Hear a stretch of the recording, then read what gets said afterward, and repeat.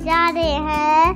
Pencil रस three D आ देखो, ऊपर यहाँ पे red blue green yellow colours दिखाई दे रहे हैं। और यहाँ पे करना है हमको, देखो, यहाँ पे मैंने अभी, अब हम तो लेवल फोर में आ गए।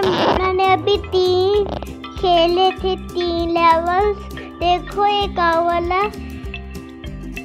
देखो, ये लिखिए ये हम तो इसमें तो कोई सा भी कर सकते हैं। गोल्डन कर लेते हैं। हमें बट ये अच्छा लग रहा है।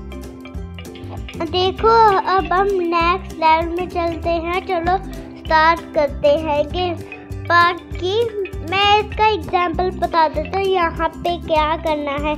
मतलब यहाँ पे हम तो एक ड्राइंग बनाएँगे, चलो।